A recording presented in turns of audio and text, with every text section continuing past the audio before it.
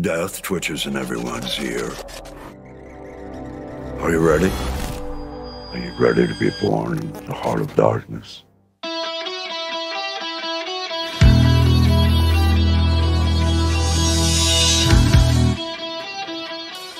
What are these?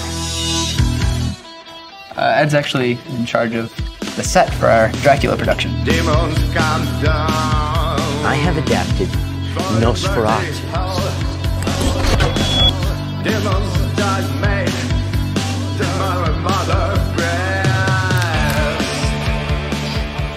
Breath. He must really love this movie. I can't even imagine.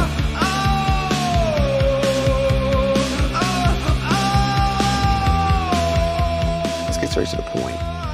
You and your little buddies are hanging with a seriously sick dude.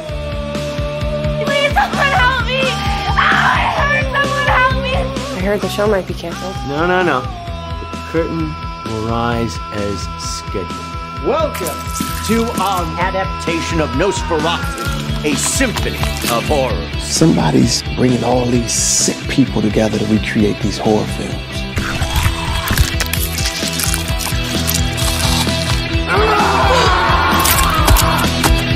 I'm not a teacher.